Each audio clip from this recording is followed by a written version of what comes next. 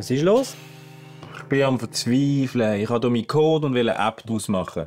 Aber ich habe einfach keine Zeit, um mich mit diesen mühsamen Konfigurationen umzuschlagen. Ich sage nur eins. Deployo. Das ist eine App-Engine, die deinen Code in einem Git-Repo in eine lauffähige App verwandelt. Ja schon, aber normalerweise muss man ja alles noch selber konfigurieren. Nicht bei Deployo. Da musst du nicht äh, kompilieren, Serverdienst konfigurieren oder sonstige komplizierte Sachen machen. Nice, was läuft denn da im Hintergrund, dass das so einfach ist? Oder der Huber verwendet Deployo, Docker und Kubernetes. Du kannst von dem profitieren, ohne dich mit dem komplizierten Zeug zu beschäftigen.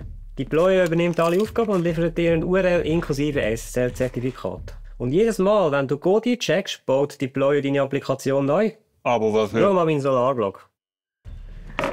Wenn ich einen neuen Artikel in Markup schreibe und auf GitHub einchecke, dann klont Deployo mein Repository, kompiliert und startet den Hugo. Das ist so ein Static Site Generator. Wenn man die Website aufruft, rendert es entsprechend HTML, damit es der Browser kann anzeigen kann. Super, dann wäre ja nur noch das Problem mit dem Datenschutz. Nein, Deployo wird vollständig in der Schweiz auf unseren Server betrieben. Da ist nichts mit Cloud, bla bla. Und wenn du ein Problem hast, können wir direkt helfen. Es funktioniert alles im Self-Service, inklusive allfällig nötige Datenbanken wie PostgreSQL, MySQL oder andere Dienste wie zum Beispiel Redis oder OpenSearch. Am besten probierst du es einfach mal aus.